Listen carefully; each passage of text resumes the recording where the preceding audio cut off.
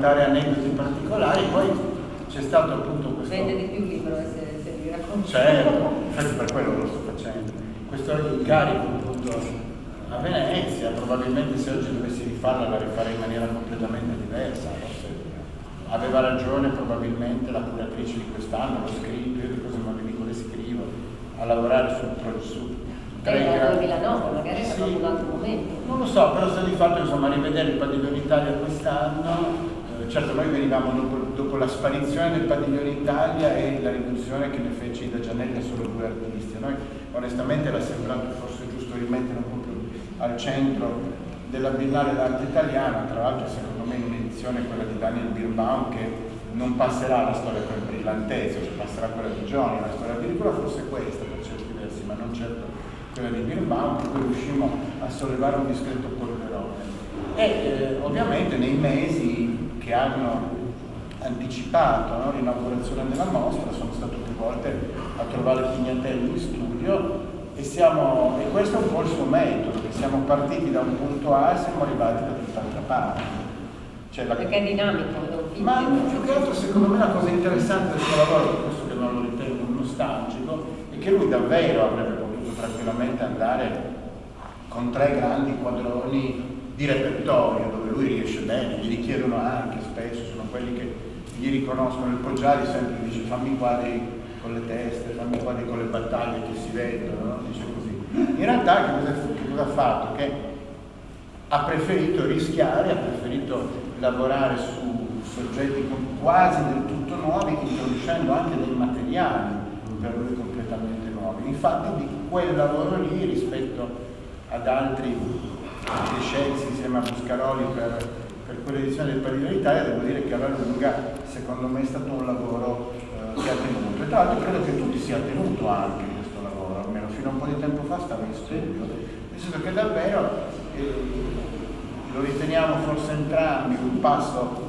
così no? significativo all'interno di un percorso dove certamente sia lui che io abbiamo fatto anche cose più importanti, forse anche cose che ci hanno rappresentato di più, certamente una grande mostra personale per un artista più soddisfacente, però ecco in quel momento direi che tra l'altro lì andando a, a citare tra virgolette l'episodio, ovviamente non la forma, della battaglia di Lepanto, del premio alla pittura, il grande d'oro alla pittura sei uomini, è come se davvero lui avesse riconosciuto, lo diceva prima Bruno, una sorta di matrice del suo lavoro.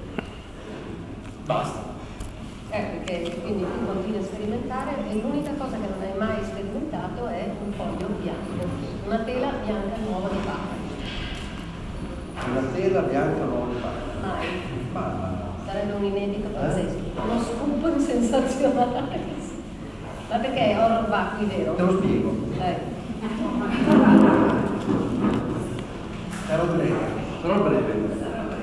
Te lo spiego. La, la, diciamo, avvicinarsi a una, a una, tela nel proprio studio, eh, soprattutto nel periodo in cui io iniziavo, era l'85, eh, significava eh, mettere alla prova tutto perché la tela... Però ancora oggi tu non vai dalla tela bianca. No, io non sono mai andato dalla tela bianca perché io ho, il, ho, cercato di superare l'errore.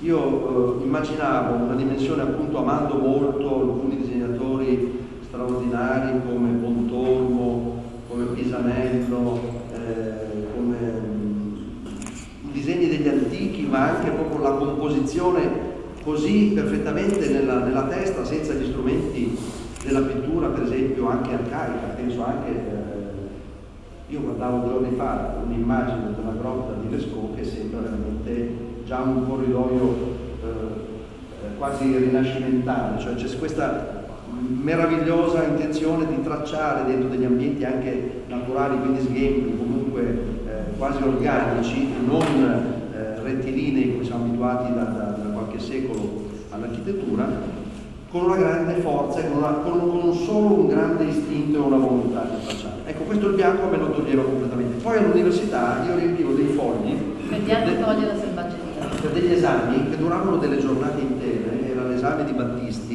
il nipote però del grande Eugenio storico dell'arte, che ci faceva fare eh, delle, un, un, foglio riquadrato in 40 quadretti e in ognuno andava fatto un tipo di tracciato con un rapido grafico, che era quindi a mano una penna che versava dell'inchiostro. Si arrivava alla fine, poi suonava il telefono, ti giravi col gomito, era tutto da buttare via. Oppure il bottone che ti delude quando stai uscendo anche per andare a fare la spesa e si stacca dall'impermeabile. Io di solito butto via la camicia. Ecco, io tengo tutto un mezzo volto. E quindi avevo iniziato a rovesciare le tele, che era una pratica che usava molto per esempio Francis Bacon, e anziché usare la tela di lino frontale, che poi prendevo dallo studio di mio padre, che è stato il mio colorificio per tanti anni, non andavo per niente, andavo e dicevo, questo, questo, questo, io uscivo carico di materiale, giravo la tela e preparavo intanto delle bianche dei colori eh, scuri per, per dipingere sopra. Questo perché? Perché secondo me è molto importante che il supporto sia già in grado di, eh, per me, interagire con, con, la sostanza, con quello che poi... lettera a mano? Io per esempio ho paura di essermi accorto adesso, soltanto oggi, di essere stato un importante dislessico, nel senso eh, che eh, la mia calligrafia non è volutamente quella, ma io aggiungo una lettera in corsivo, dopo due in stampatello, una in caratteri eh, capitali romani, a una invece eh, che non riesco a riconoscere e questo l'ho molto avvicinato anche alla mia fatica eh, propria nella lettura dei romanzi, per esempio. Eh, preferisco leggere i saggi o preferisco comunque cercare di organizzare dei pensieri che abbiano una, una possibilità di offrirti un tempo per prendere un pezzo e poi lasciarli Ah, ecco, sì. infatti, non, non so, mai niente. Non finisco mai niente, non ho finito nemmeno l'università, ho dato 30 esami ma non la tesi, eh, perché questo non finito per me ha molto eh, condizionato il mio lavoro. Tant'è vero che proprio da, da giovanissimo andavo in Uffizi a vedere la donazione dei Magi, che è un quadro che Leonardo interrompe per venire a Milano Voglio sapere a lavorare a Castello. Se tu eh. non finito, ho letto nel libro che tu da, da piccolo eri ossessionato dal grembiulino obbligatorio blu per andare a scuola con il fiocco stretto Ah, questo è il nostro colloquio di Napoli. Lo. Brava, che hai detto. Eh, eh, sì. stai ancora non finito, fa parte del... No, ma quello è un momento della... particolarissimo. No, Io ero in terza elementare, era il 1968, si passava da, da un'Italia post-bellica ancora di destra a invece una rivoluzione culturale che poi ha cambiato il mondo. Noi uscivamo marciando con un verdure nero e il farfallino dalla scuola, c'era il preside sulla sinistra, il doppio petto che dava un segnale, si rompevano le righe e si correva fuori. In quella scuola che è al Parco Ravizza, che è la Vignola di Milano, eh, pochi mesi fa, andando a vedere il monumento per l'uccisione di Franceschi che è stato messo alla Bocconi, che è quella bellissima, straordinaria pressa di un'industria che penso sia stata eh, messa nel 1971 o comunque qualche anno dopo, già da allora, e che era quello che Aldo Rossi suggeriva come nuovi monumenti per la città, vedere una città legata all'industria come Milano, dovrebbe avere degli, degli elementi dell'industria invece che tante sculture anche molto brutte che circolano il centro, ma eh, in quel periodo il, cambiamento era talmente radicale dal punto di vista esistenziale mio che io stavo già decidendo molte cose. E ehm, il mio modo di rapportarmi per esempio con, con, con, lo studio e con la ricerca è iniziato in quei momenti lì, proprio delle scuole elementari, però solo su quello che decidevo di eh, farmi interessare che interessava particolarmente nella, pochi anni dopo, ma non voglio fare un'autobiografia partendo dagli asili, come quando ti invitano a vedere le diapositive dopo un viaggio di tre anni, eh, andai a, in un'altra scuola dove ero compagno di classe di Giovanni Panza, il figlio di Panza di Piumo, e noi tutti i, i weekend andavamo alla villa del, che adesso del FAI, che è la villa di Tavarese. E quindi c'era questa immersione totale eh, in mezzo ai lavori di, che arrivava puntualmente, una sera aiutammo il conte ad appendere 30 lavori di Franz Klein, che erano dei lavori meravigliosi, giganteschi, che puzzavano ancora d'olio perché arrivavano da New York e, e, ed erano bianchi e neri.